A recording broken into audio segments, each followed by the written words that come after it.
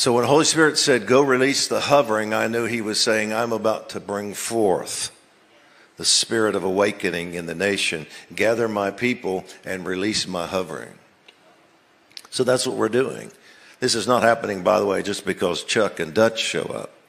It's happening because we, we, we have a, a calling and an anointing and a gift and a recognition that can gather the intercessors in the nation. We can gather the prophetic company in the nation.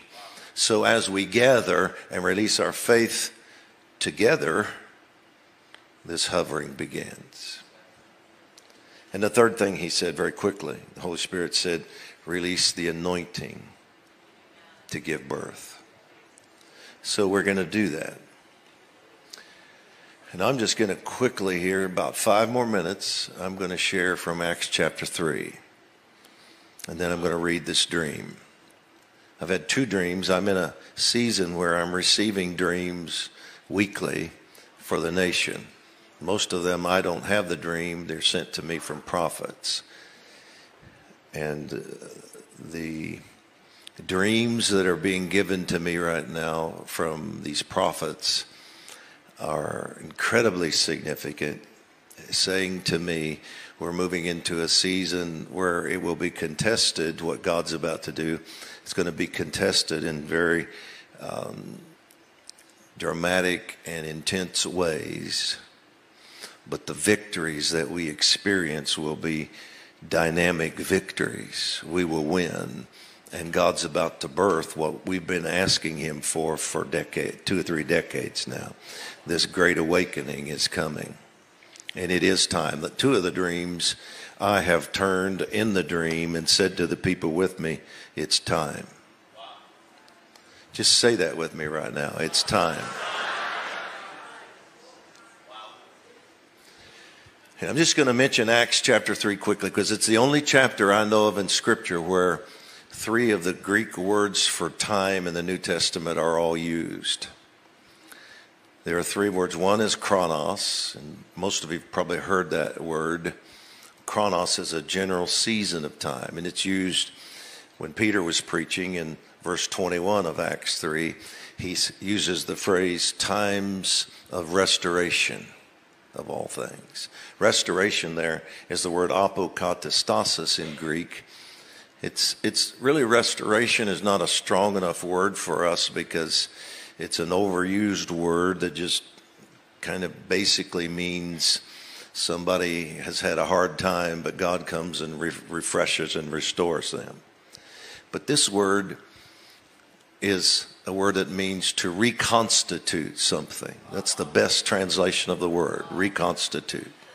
Constitution of something is, is the intent, the original intent for that, how it's made and how it operates the Constitution. Our nation is supposed to operate according to our Constitution.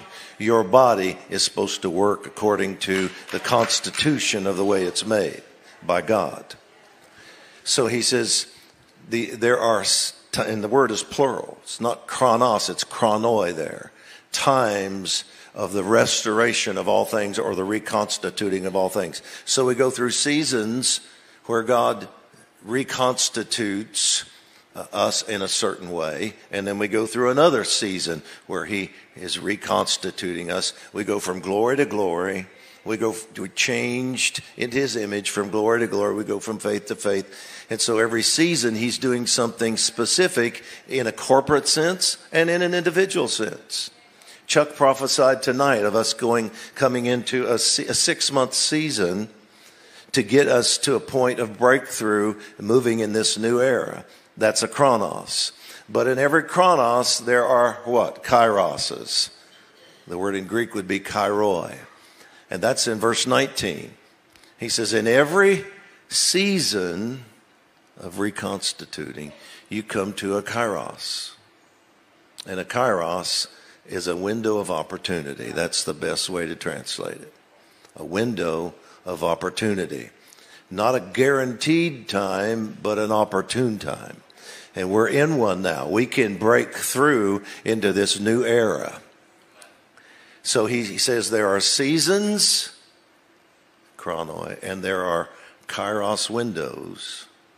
But then you come to a point where you have to you have to step through. You have to break through. You have to hear Holy Spirit saying, It's time. And that's in the first part of the chapter when the man at Gate Beautiful was healed. God kept talking to me several years ago about this passage, and I knew he had something he wanted to share with me there. And I couldn't get it. I just couldn't figure out what he was saying to me. So finally, I started doing word studies of all the words in that passage. And I still wasn't getting it. So I finally looked up the word for the gate, the name of the gate, beautiful.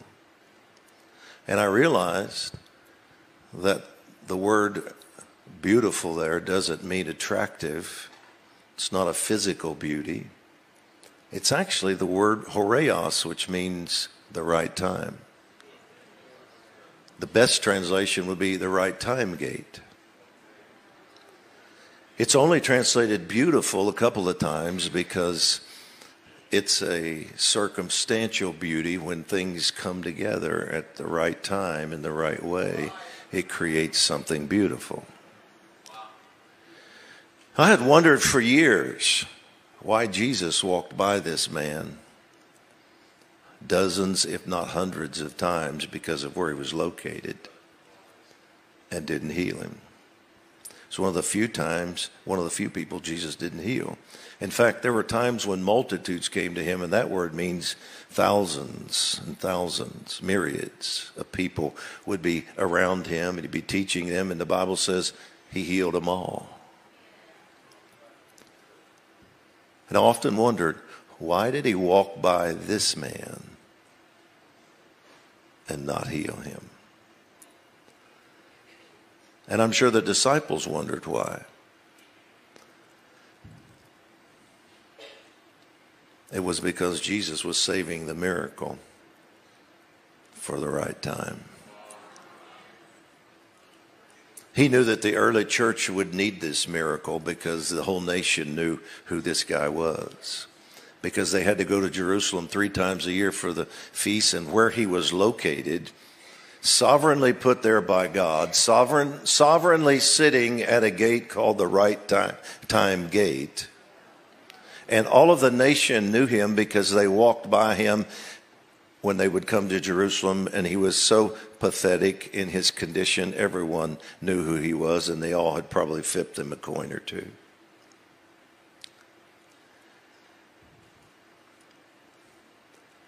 And then one day, Peter walked by, and something was different. It was time.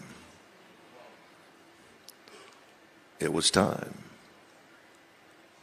It was time for a miracle that would grab the attention of the entire nation. Now just think about that. Everybody knew who this guy was. And you can argue theology all you want. When a guy who's 40 some years old, who's born with a condition that's twisted his limbs, he's never walked a day in his life, when something happens and in a second, muscles are formed, limbs are straightened, joints are put together, ligaments form, coordination comes and that which takes months to do to learn to walk happens in a fraction of a second and he jumps, leaps to his feet and he's completely transformed and he's running through the temple and the whole city hears about it in minutes. Because thousands of people gathered. We know 5,000 were saved because he was running through the temple, running and leaping and praising God. And news spread throughout the entire region. Joe is over there running through the temple. What Joe? Joe, Joe, the one that sits at the gate called Beautiful at begging for alms. He's running and leaping and praising God. Somebody heal him in the name of this Jesus, the one they're saying rose from the dead.